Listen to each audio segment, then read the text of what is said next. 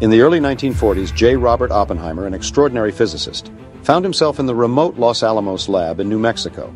He led a group of brilliant minds on a secret mission, the Manhattan Project. Their objective was terrifying yet awe-inspiring to harness the cataclysmic power of atomic energy. As a director, Oppenheimer was the captain of this ship of geniuses. Together, they embarked on a journey to create the unthinkable, the ultimate weapon, the atomic bomb. The climax of their work came in July 1945 in the desolate desert of New Mexico. The first nuclear bomb test, codenamed Trinity, was a haunting success. As the mushroom cloud billowed on the horizon, Oppenheimer, quoting the Bhagavad Gita, said, Now I am become death, the destroyer of worlds.